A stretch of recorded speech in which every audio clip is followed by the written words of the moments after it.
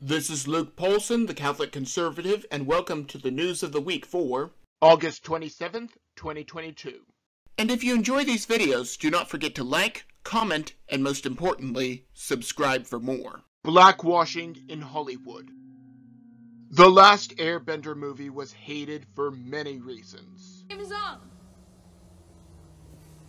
And I'm the Avatar. Not the least of which is that the predominantly Asian cast was rewritten to be white. Naturally, there was outrage out the wazoo, and the internet has remained salty about it. Either way, not too long ago, the Broadway show Hamilton was released. Like the last Airbender movie, it featured a cast that was not based on the source material, in this case, history. However, this time around, there was no outrage or disgust. Why the change? Because this time, there were fewer white people. Hollywood is guilty of blatant anti-whiteism. Skipping forward to the present day, the movie Oppenheimer, which tells the story of the Manhattan Project, is in the works. As anyone who has an understanding of history outside of the brainwashing of the modern education system knows, the people working on the project were very shy on melanin. Naturally, the snowflakes are upset about this. Not because they do not understand history. They do not. They are upset because they will not stop until reality reflects what their worldview represents. I mean, there are infinitely more LGBLT pairings on television and movies than one would expect, when they only represent about 1% of the human population. Even if Oppenheimer was recast to be all minorities, the snowflakes would not be satisfied until they were all transgender, disabled, or women as well. Again, it is not about facts, it is about an agenda. However, blatant anti-whiteism is at the Supreme Court. Affirmative action on trial. Imagine for a moment that you are denied a job, not because you are poorly qualified, but because a company has too many people of your particular skin tone employed, and they want to make the work environment more equitable. Imagine if firefighters were judged for the job not based on their skills. What about doctors? What about soldiers? In every instance, it is wrong for the same reason. Harvard and UNC are guilty of denying students of Asian and European descent a place on their respective campuses, not based on whether or not they have good grades but based on their heritage. Imagine if you got a job as a firefighter, doctor, or soldier, not based on whether or not you were able to do the job, but what your melanin concentration was. That sounds like a good way to get someone killed, because the most skilled person did not fit what the prescribed skin tone was supposed to be. Tax credits are corporate welfare. Imagine writing a bill that is supposed to reduce inflation with no constraints on the Federal Reserve or spending and claiming that this will help the poor. And if you think this will actually do anything, I got some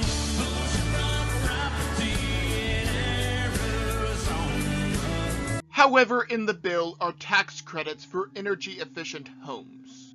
That is a very noble cause, but I'm going to bet dollars to donuts that the same people who funded the campaigns of the Democrats, who pushed this bill through, are the same ones who will be getting all of that business. In fact, there is no reason to make that bet as it is already known to be true. Global warming, something that will kill us all even if the models never come to fruition.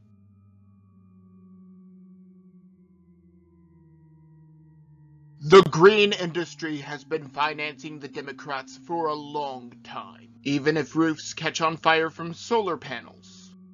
Even if windmills are inefficient even in favorable weather. Even if the predictions of the elites on global warming have failed repeatedly while they buy up coastal real estate. This is not about reducing inflation, as it is all about corporate welfare. I am trying to pinpoint the exact moment when Democrats stopped hating big business. Trump never lost support. 10 Republicans voted to impeach President Trump over crimes that never happened. All but two of them lost their jobs as a result. Since almost no one watched the January 6th hearing, it might not be renewed for a second season. Likewise, support for President Trump increased even more after the raid, not search, of his home. President Trump never lost support, but in reality, he is getting even more support than ever before. The fact that this is happening should embolden the last few Republicans that are on the fence about Donald Trump to give him support. Notice that I did not say blanket support. He is still a valuable human being. However, he is putting America first rather than Washington first. The CDC sunk the economy. It was not the China virus that crashed the economy, but the response to it. Test kits that had to be approved by the CDC failed. All of the mask and vaccine mandates did nothing. In fact, Florida, despite having one of the highest populations of the elderly, had one of the lowest death rates. DeSantis let people see their loved ones at nursing homes so that they would not die of loneliness. He let schools, churches, and businesses remain open and the world did not spontaneously explode as a result. The CDC is finally admitting that they botched the response. And if you think they will do better on gay gaypox or the next four-year virus, I got some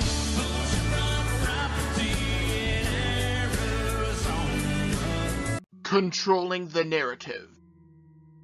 The World Economic Forum and Twitter are gearing up for the 2024 election. They are going to make sure that all of the information is factual by only allowing things that they have approved of to be said online. Operation Mockingbird is here to remind you to never question the official narrative. Even scarier is that a lot of blocks come from bots since Twitter cannot employ enough people to look at each post. Maybe if they were only worried about those that actually call for violence, but I digress. Either way, now they are trying to use humans to teach the bots to catch sarcasm. If the bots can find sarcasm, it will be a lot harder to mock liberals. I do not have the gift of sarcasm, but I wish that I did. Big Bang or Big Dud? Before the Big Bang, there was nothing. Literally nothing. That was a simple explanation of what the Big Bang supposedly was. The James Webb Telescope is a fascinating waste of money in my humble opinion. However, even something that does absolutely nothing is now accomplishing something. The observations through the telescope show what appears to be a universe that does not fit with the standard Big Bang hypothesis. There is a lot of techno-babble in it, but the misotheist astronomers are officially terrified about this not fitting their worldview. Just like ice cores, the faint sun, tree rings, comets, and Y chromosomes, we see more evidence that the Earth cannot possibly be millions of years old. However, instead of taking this opportunity to bow before the creator of all things, the same misotheists will try to come up with another rescue device so that they can remain willingly ignorant. They will continue to claim nonsense about the origins of the universe. Whatever the universe was at the very beginning, some 13.7 billion years ago, we think it was tiny, an infinitesimal nugget of space. And then something happened triggering the most colossal explosion in history. And thus, being willingly ignorant. Anti-whiteism firing. School is starting up again, and I for one am happy that the little monsters are locked away safe and sound. However, Minneapolis, Minnesota is taking a unique approach to ensuring that the school has plenty of teachers. They have started to fire teachers based on their melanin concentration. Last I checked, this was the dictionary definition of racism, but the only reason why the school is getting away with it is because it is anti-whiteism. The teachers are being fired based on previous historical wrongs. In other words, minorities are being fired last. This is identity politics and intersectionality. Just like the problem that I mentioned a few minutes ago with Harvard and UNC.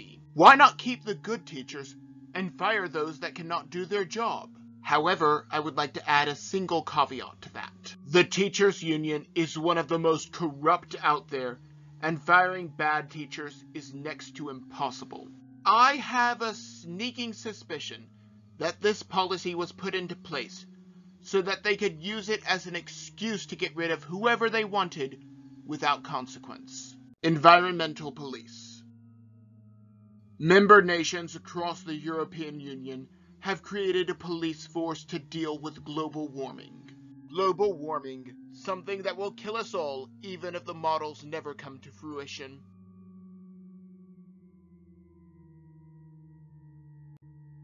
Even though it is imaginary, and halfway around the world, it is only a matter of time before policies like these come over to America. AOC is probably taking notes as we speak. The police force would enforce climate laws. Would this include someone not being able to plant crops or raise animals how they want? We already know that the elites want us to start eating bugs. Would this include not being able to care for your lawn or garden the way that you want? We already have people being charged over having a garden right here in America. Europe, as always, is the test case. The elites over in Europe want these environmental police to also deal with climate emergencies. They could keep the money and deal with the problem themselves. That is one reason that we do not need FEMA, but that is another topic for another day. Maybe I'm just blowing smoke. Maybe I'm completely off my rocker, but that is just my opinion. And if you enjoyed this content, do not forget to like, comment, and most importantly, subscribe for more. And also don't forget to follow me on social media.